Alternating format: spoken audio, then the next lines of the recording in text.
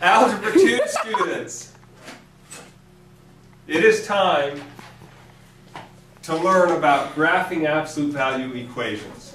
And the best way to learn about graphing absolute value equations is to start with an equation that we already know how to graph, which is y equals x. Real quickly, I'll run through it. If we do a t-chart, my favorite graphing utility, and we say we have x and y, we choose a few numbers for x. Negative 2, negative 1, 0, 1, and 2. And if I say, well, if x is negative 2, then y must be negative 2. And if x is negative 1, then y must be negative 1. If x is 0, y must be 0. If x is 1, y must be 1. And if x is 2, y must be 2. And now we have five sets of ordered pairs that we can use to graph. And I've graphed those points on this coordinate plane over here.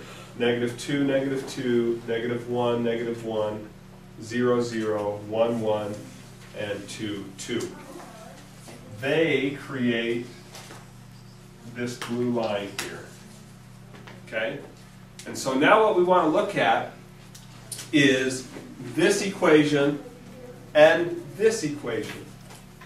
What's the difference between the two? Well, in the purple writing, the purple equation, there's an absolute value sign here around the x. And how does that change things? Well, let's do another t-chart.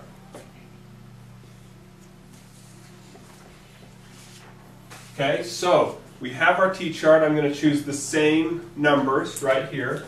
Negative 2, negative 1, 0, 1, and 2. And immediately we look at this and say negative 2, if x is negative 2, well the absolute value of negative 2 is 2. So y equals 2. And if x equals negative 1, the absolute value of negative 1 is positive 1. And if x is 0, the absolute value of 0 is 0. If x is 1, the absolute value of 1 is 1. And if x is 2, the absolute value of 2 is 2.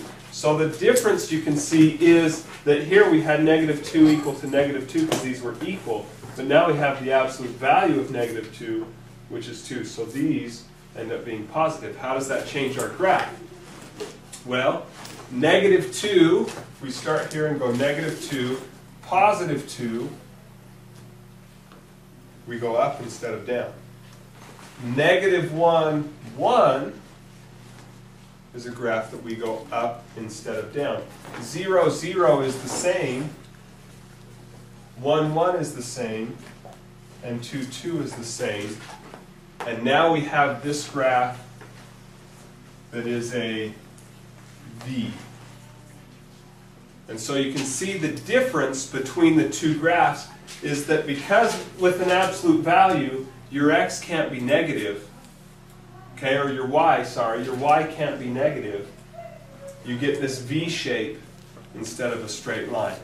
And in our next segment of video, we will talk about what happens if you add and subtract things to the x on this side, and we'll do that next time.